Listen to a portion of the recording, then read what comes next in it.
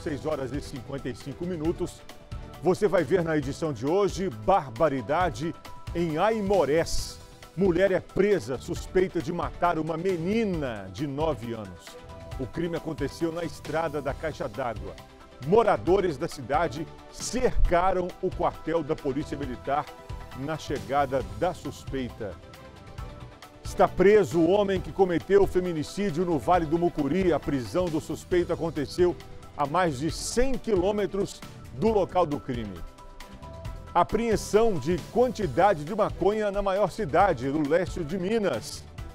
E daqui a pouco, na cidade, tem a primeira rodada do módulo 1 do Campeonato Mineiro 2024. O Esporte Clube Democrata estreia diante da torcida contra o Itabirito. E o representante do Vale do Aço, o Ipatinga, joga fora de casa. Agora no MG Record pela TV aberta e no Facebook da TV Leste, facebook.com barra TV Leste. MG Record.